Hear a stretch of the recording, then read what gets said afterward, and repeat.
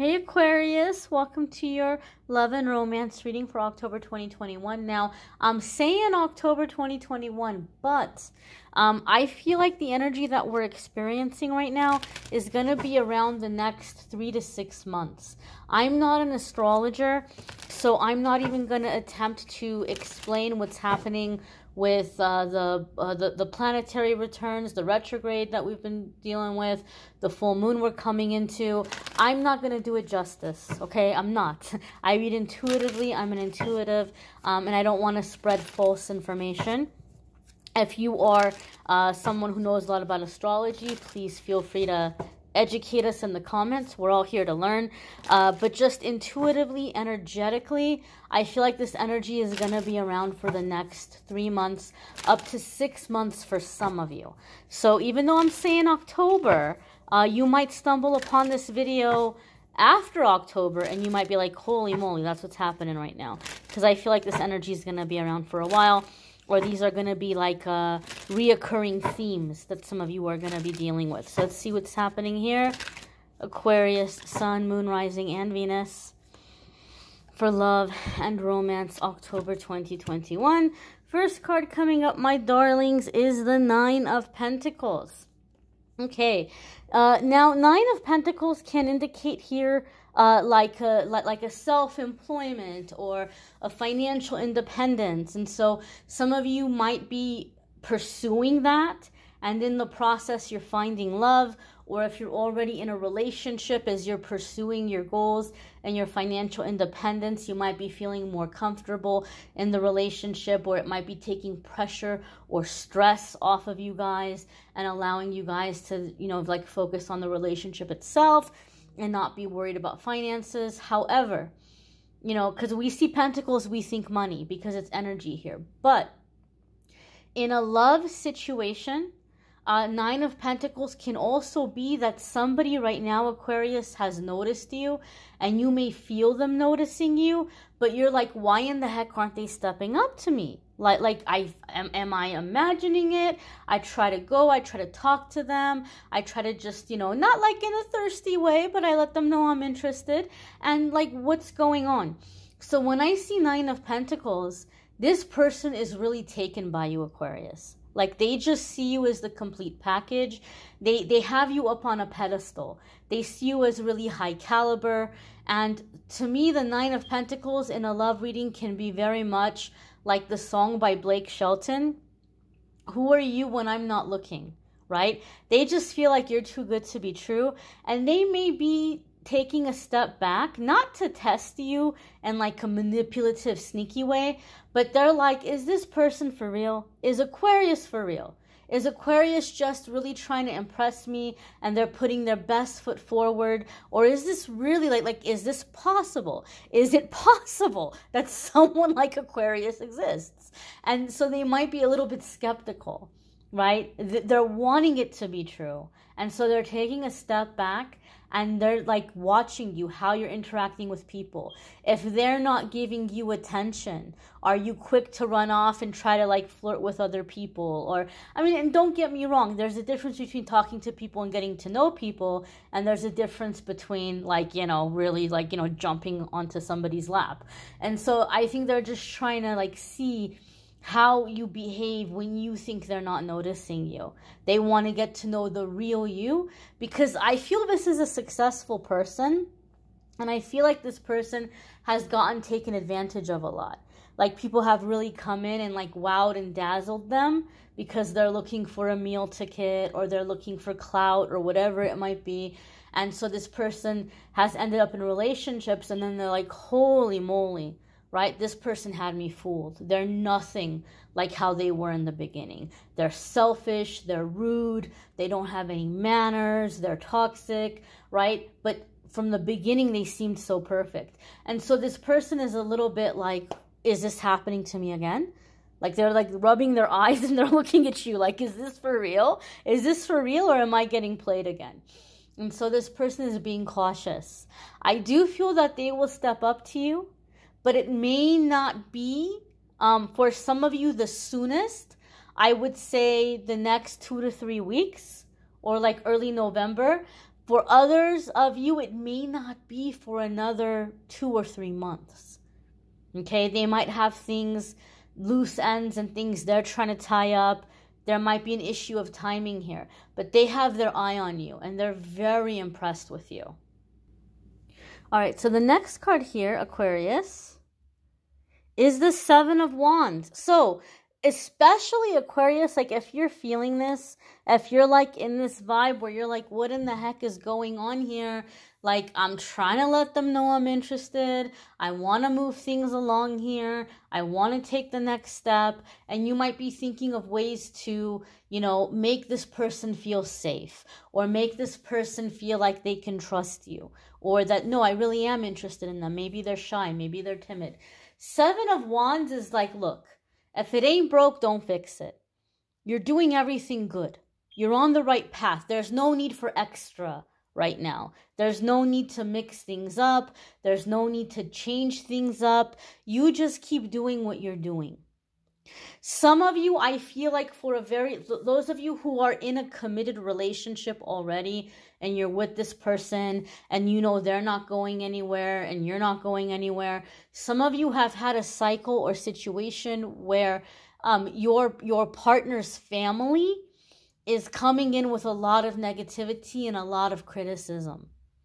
You know, maybe you have like a mother in law that's like always on your case and nitpicking everything and like you know saying that you're a bad parent or like you're not trustworthy and you know you're not good enough for their baby you know whatever it might be but the 7 of wands is i feel like spirit is saying stand back stand back and I feel something is happening that these people are falling away.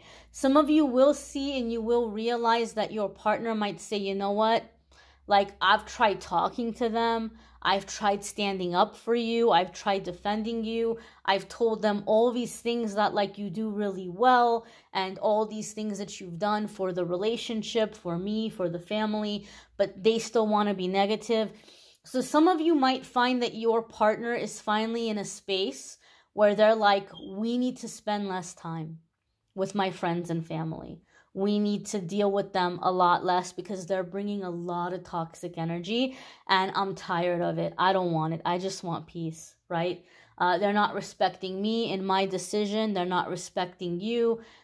You know, I, I don't want it. And so some of you might find that finally you feel like you're getting a break or you're getting peace and that your partner is on the same page as you as you know we're not going to fight we're not going to argue. We're not going to try to convince them, but we're just going to step back for a little bit.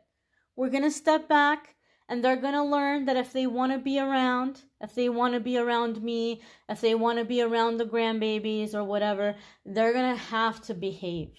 And so a lot of you are taking a stance and setting a boundary as a couple without getting into the drama, without trying to convince, without arguing. It's just like, here's the line.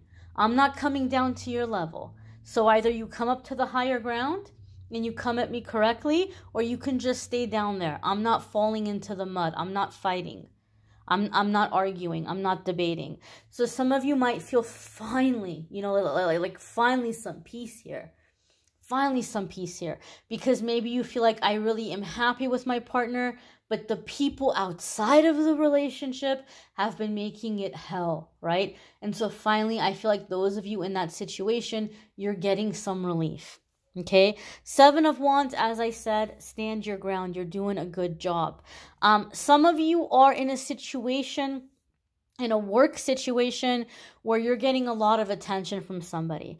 I feel it might be a supervisor that's not like directly above you, so maybe technically like technically it wouldn't be against policy or against the rules for you guys to get together or for you guys to date but i do feel like people are noticing and they're talking really negatively about you. And again spirit is saying don't feel like you have to address rumors.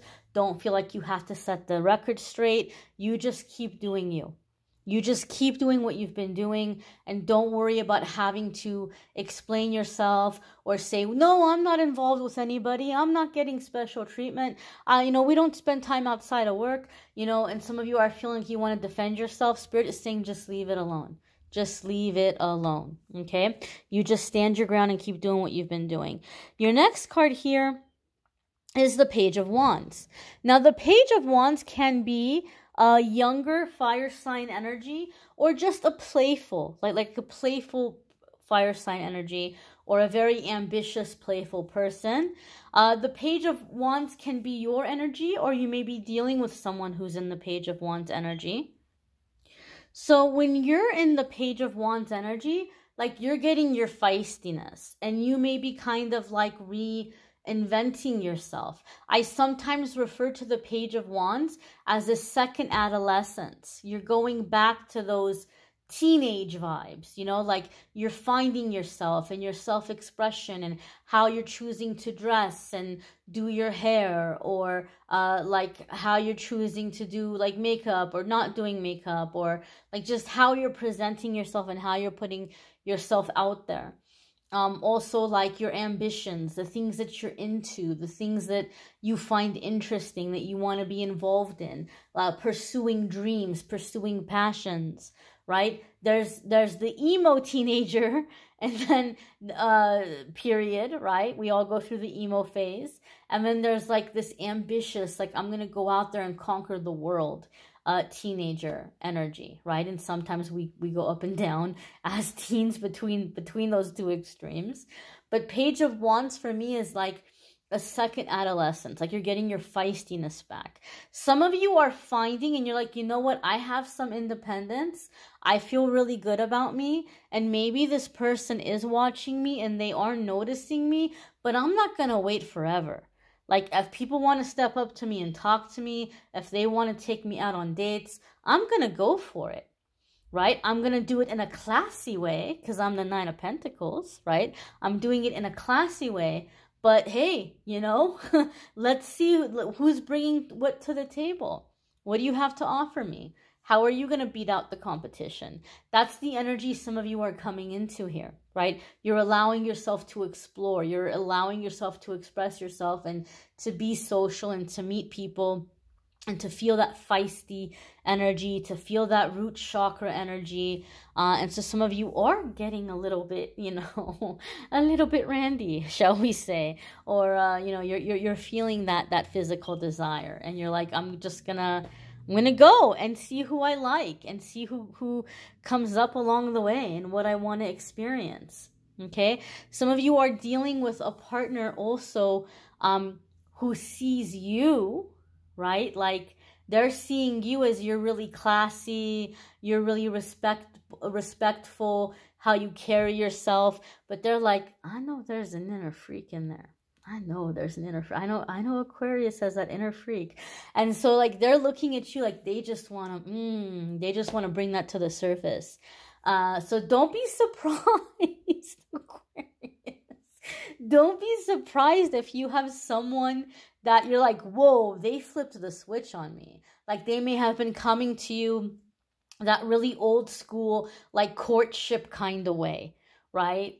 Like, uh, like, like really, really like respectful. But then all of a sudden, when it comes time to getting down to business, they want to get down to business, right? So they might be like wanting to be more adventurous. They might be wanting to uh, just be in that, you know, uh, um, that uh, let me show you some new things energy. Some of you might be dealing with that kind of energy, or maybe, or maybe you're seeing somebody and you're wanting to teach them a thing or two. But I kind of feel that dynamic here for some of you. Now, um, the next card here. Ooh, see devil. Mm. Mm-mm-mm-mm-mm. So, this is a major arcana card when the major arcana cards come up, we're coming into a new chapter in our life, and this is a significant experience. This is a significant soulmate. We agreed to meet in this lifetime for specific reasons. And the devil card, okay, now it's up to the reader to determine the way the cards are coming up because the cards have layers and they can come together and they can tell different stories. So the reader's job is to read the energy and see the cards that are coming up with it to figure out do I feel like it's this energy or do I feel like it's that energy? Which which message is it? I don't feel the devil in a negative way. And for you guys as it's coming up here. And when I say negative, I would say somebody who's like, you know, controlling and uh, maybe somebody who has like addictions that are out of control or, you know, somebody who is very possessive or toxic. I don't get that vibe. Keep in mind, first and foremost, this could simply be Capricorn energy. Some of you could be dealing with a Capricorn, or if you have a Capricorn placement, uh, there might be changes and shifts happening in that area of your life that are aligning you with meeting your significant soulmate, your significant partner here. Uh, but the devil card is supposed to be a representation of earthly energy, right? Like they say the earth is the devil's domain. Okay? So this is going to be all things having to do with earthly energy, physical pleasures, lust, passion, okay? Uh, money. Uh, sometimes for me, when the cards come up in this way, Spirit is telling me that you might be on a spiritual journey and this person is coming in and they might have more earth energy. They might be more physically inclined. This is someone who might be more into physical things. But that balance can work because sometimes this person is coming to keep you grounded, to bring you back into your body right? Especially Aquarius, you guys are an air sign. So air signs, you're going to be in the element of thought. You're going to be into, like when you're into your spiritual work, you're going to be into meditation. You're going to be into like receiving messages from the spiritual realm and you're going to be in your head a lot, right? That's one of the ways that you experience spirit. You experience spirit in, in the intellectual or mental realm. This person's coming in to yank you back into your body. And you can do both, Aquarius. You don't have to give up one for the other. We don't want to go to the extreme to where we're not in our body at all. We're not grounded.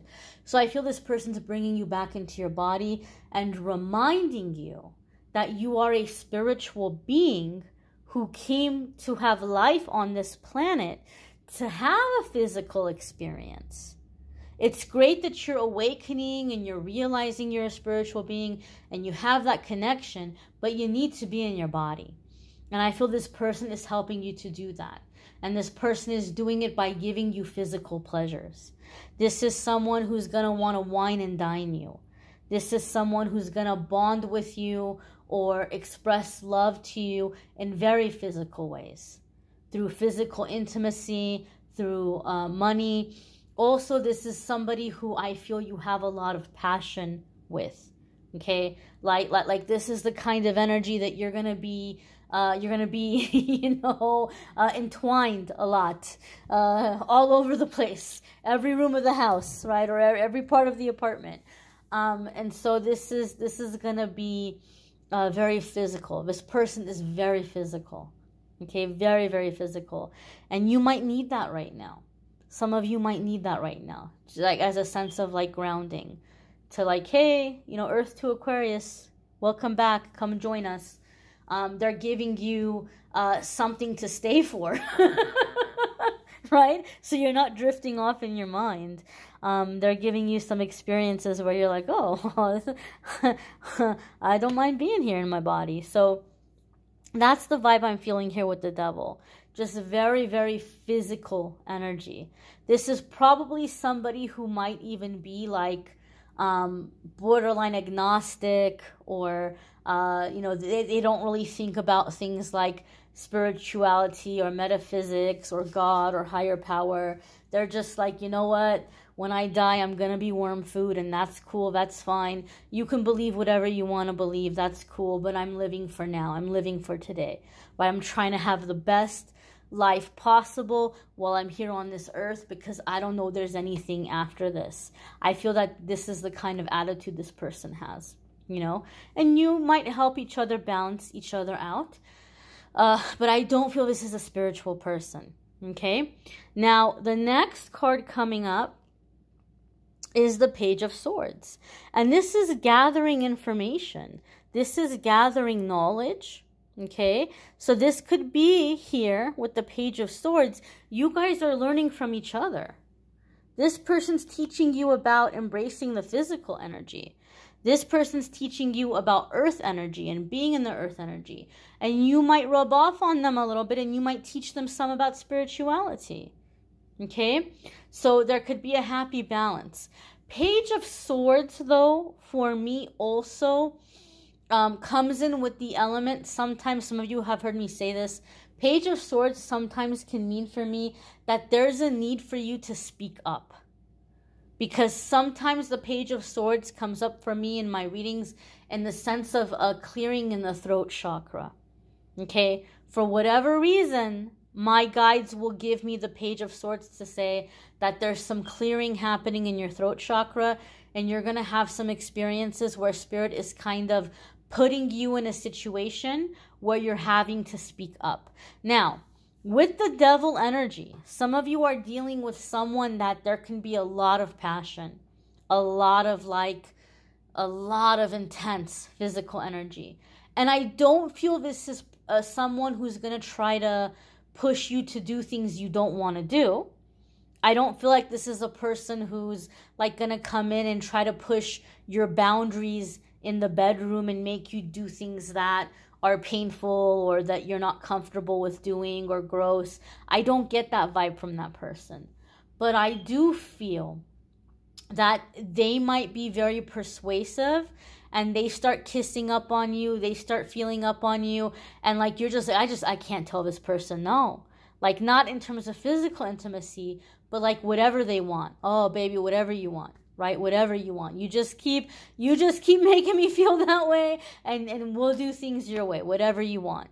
And so i feel like with the page of swords it's like you're being encouraged to speak up right? Enjoy that passion. I also feel like this person is not going to get mad at you. This person is not going to be like you know um you know, how dare you say that? Or no, we have to do things my way. I don't get that vibe from this person. I just think they're very charismatic, they're very smooth, they're very charming, and they're just used to, you know, people going along with what they say. And they might actually kind of like it when you stand up and when you're like, I don't want to do that. I want to do something else, right? I want to do something else tonight or I want to focus on a different goal, or I want to talk about something else, or I want to, you know, uh, eat from a different restaurant, or whatever it might be. They'll see that and they'll be like, "Ooh, I like that. Right? I like that. I like that Aquarius is speaking up. I like that Aquarius isn't just always like, yes, baby, yes, baby, yes, baby." So um, I feel there's a dynamic here in that way too. It's so interesting, Aquarius, because Spirit is showing me, and it's the time of the year for it, as we're in October. It's definitely the time of the year for it. Spirit is showing me Hades and Persephone, right? Persephone was this sweet, um, un, uh, un, uh, uh, unblemished, uncorrupted, uh, sweet, uh, you know, light being, this little uh, earth creature, like this little earth fairy, this little earth angel that was just kind of prancing around, la la la, flowers and trees and sunlight and happy things, right? And Hades, the lord of darkness, the lord of the underworld, he just saw her and he fell in love and he was just like, oh my god. Like i i have to be with her. I have to be with her. And he maybe went through questionable means to get her. But when it came down to like the rules and stuff he followed the rules. He had to give her back. He was a little bit slick. He had a way to like you know keep the door open to like stay connected to her. And eventually right uh, persephone became both. Persephone could walk in the light and then go to the underworld. So part of the world she was in that lighter energy, part of the world she part of the year I mean, part of the year she was in that light energy, part of the year she was uh, the queen of the underworld. And as time went by, they had a very powerful relationship. And even though he was like this, you know, dark, you know, uh, you know, lord, lord of the underworld, he was good to her. He treated her well. You know, um, he loved her and it was that that that that attraction that that they were so polar opposite but there was that attraction. And so that's like the vibe I'm feeling here with this person. I don't want to say angel meets devil because that sounds very uh, like uh, painful and crazy and karmic and uh, you know roller coastery and i don't get that vibe from this person i'm not to say angel and devil this is like Persephone meets Hades. Like that's what I feel here in this energy. Uh, you may want to check out your moon sign and rising sign videos, your Venus sign if this isn't your Venus sign. Uh, don't forget to check out the weekly forecasts. Uh, I know I've been away for a while, but for those of you who don't know, every single week, and it's going to start up again, every week I post a reading for each of the signs where I talk about everything other than love right? Everything other than love. So make sure you watch the weekly forecasts as well. Thank you so much for your patience. In my absence, a lot of you have sent messages. I'm trying to respond to all of them. Thank you for being patient with me. A lot of you have been asking um, about uh, sending donations or tips. Thank you. You can do that by PayPaling uh, to my email address. Just go to PayPal and put in my email address, amethystangellight at gmail.com. You can PayPal uh, donations and tips to that email address. Uh, those of you who would like a private reading, you can schedule a private reading with me at calendly.com slash amethystangellight. Thank you for watching, liking, sharing, commenting, subscribing. Be well, my dears.